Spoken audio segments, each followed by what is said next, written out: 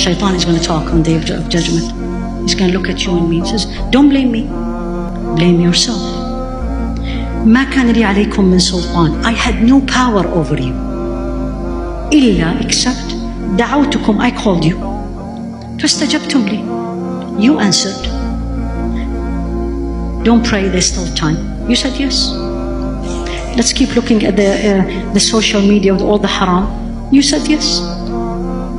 Right? Don't put your hijab. You said yes. Let's do this. You said yes. ما لي عليكم من سلطان. I had no, no control over you. إلا أن دعوتكم فاستجبتم لي. I called you, you answered. فلا تلوموني. Don't blame me. Blame yourself. ما أنا بمصرخكم. I will not come to your rescue. وما أنتم بمصرخي. And you will not help me. Do you want to be that person? Can I afford it? Do I have an answer?